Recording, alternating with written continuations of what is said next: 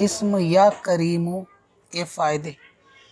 इस नाम के लिए मशहूर है कि इस नाम के ज़िक्र करने वाले को अल्लाह ताला की तरफ़ से जो चीज़ दी जाए, इल्म, दौलत, इज़्ज़त, शोहरत, वो कभी वापस न ली जाए।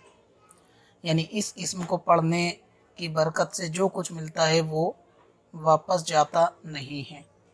लिहाजा चाहिए कि रात को सोते वक्त या करीमू या करीमू या करीमू पढ़ते हुए सो जाएँ और अपने वज़ाइफ के आखिरी वजीफ़े में इसको ज़रूर रखें, यानी सोते वक्त में या करीमू पढ़ के सोएँ। अगर दिन में पढ़ना चाहें तो ज़हर की नमाज़ के बाद या करीमू या अल्लाह के साथ पढ़ सकते हैं। सवाब की नीयत से शेयर करें और वजीफ़ों के लिए विज़िट करें वजीफ़ा dot S M S Warsi dot com.